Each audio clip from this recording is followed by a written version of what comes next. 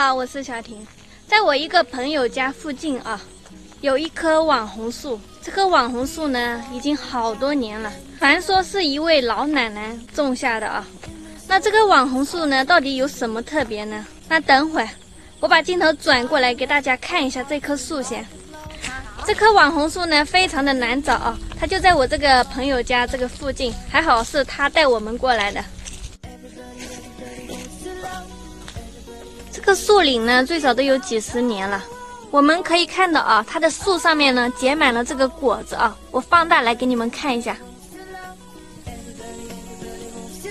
看，由于刚刚下了大雨啊，所以地上呢有很多这个果子掉落下来了。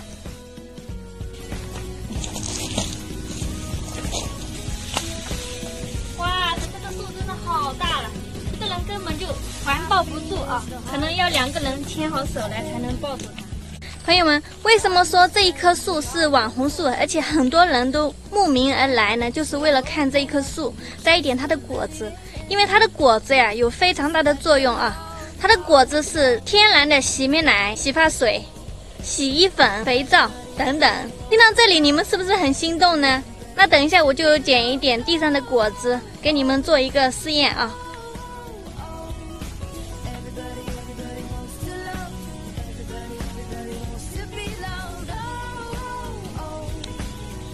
朋友们，现在我已经剪了一些这个它的果子，可以看到这个果实啊，它的表面上是有一些这个白白的点点啊，看，每一颗都是这样，是不是？而且它的个头还算大，比我的大拇指都要更大一点，拿在手上还会有粘手的感觉啊，看。现在我就把它拿去做一个试验给你们看啊，我现在把它剥开来看一下它里面是什么样子的，哇塞！看它里面是绿的，看每一颗都是这样，绿绿的，像绿宝石一样的。闻一下是没有什么特殊的味道。我为什么说它是天然的洗面奶、洗发水呢？因为它一碰到水，然后揉搓一下，它就有丰富的那个泡沫啊。这边刚好有一条这个小水沟啊，我现在就揉一点水在我手上试一下。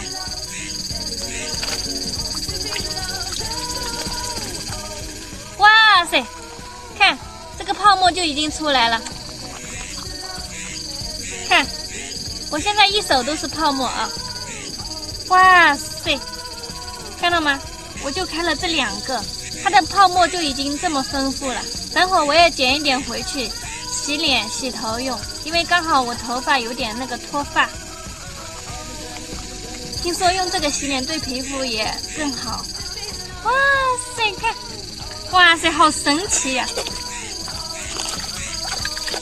好了，现在我的手已经洗干净了啊，看，看一下我的手都更白了，可能是心理作用吧。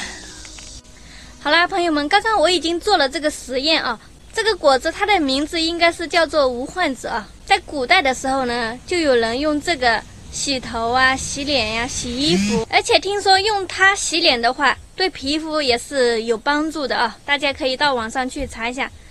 那今天视频我就分享到这里了，感谢你们的观看。如果你也喜欢我的视频，可以点赞、评论、转发、收藏。